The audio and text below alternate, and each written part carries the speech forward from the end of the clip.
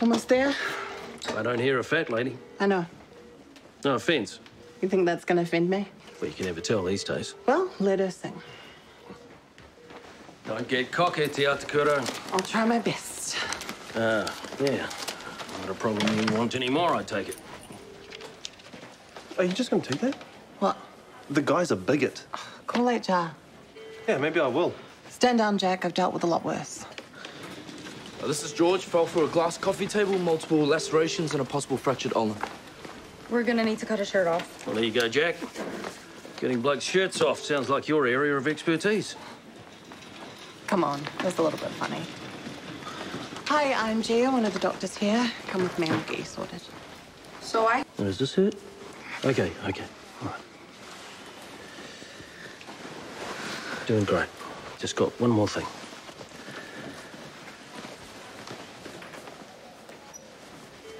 That's great. Thanks. You've been very brave. Shall I order a biopsy? Let's get some imaging first. The tumour's on his neck and back. Not bad, I know.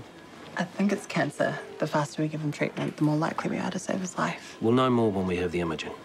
Call radiology. Use some of that stroppy energy. Get him top of the queue. Still think he's a good guy?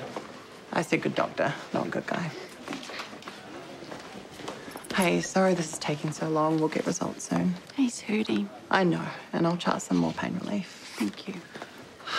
Tissue swelling, joint stiffness, low grade fever, pain. Why is Emmett delaying? This kid needs our help. I'm calling that surgical registrar, and getting a biopsy. No, Jack. Have you ever known someone who died of cancer? Yeah, patients, sure. Yeah, my sister, my ex.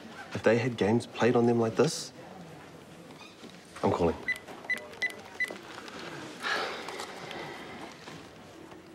Hi, it's Gia. I'd like to refer a patient for a biopsy.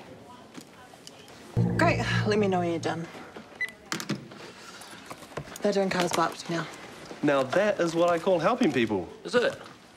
Because from where I'm standing, you're pushing pins around on a desk. Do you ever give it a rest?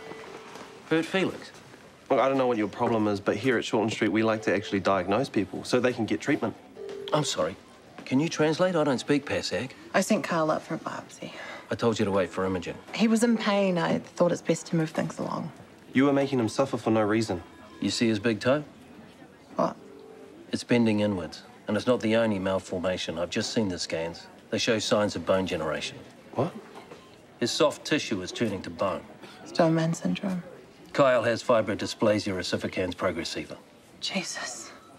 It's a rare progressive disease of connective tissue caused by a genetic malfunction. But, but he- It's commonly misdiagnosed, but if you want to send him to a painful and intrusive biopsy for no reason, you be my guest. Hi, it's me again. I'm sorry we're going to have to cancel that biopsy. I'm sorry, I overstepped. Gia, We all have baggage.